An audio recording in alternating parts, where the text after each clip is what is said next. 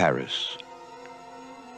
On a quiet street, in an old building, a dead woman's vacant apartment is waiting. Waiting for the tenant. Roman Polanski is the tenant.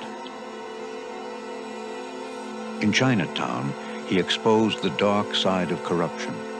In Repulsion, he explored a warped mind. In Rosemary's Baby, he examined the occult. Now, the tenant, something altogether new, altogether chilling. No one does it to you like Roman Polanski.